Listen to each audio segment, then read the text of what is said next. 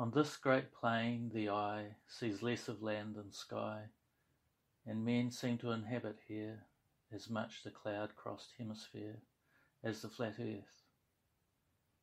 Trains travel fast and straight, And travellers early or late Think of their destination More than of pasture, wheatfield, wayside station. Here birds and wind fly free, And tree is miles from tree, Except where in dark ranks they muster Against the gales or cluster, Befriending lonely farms.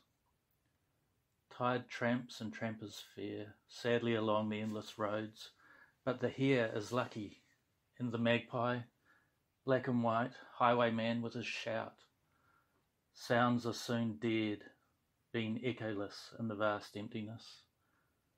Though thunder and ocean roar carry on calm days far, and some sounds hardly ever rest.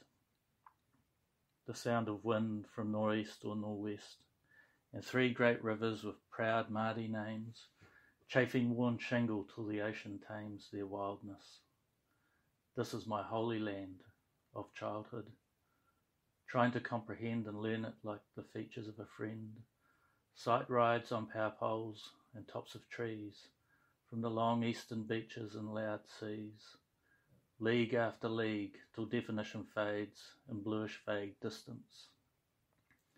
Then dreams begin to see in vision, colourless and thin, beyond the western foothills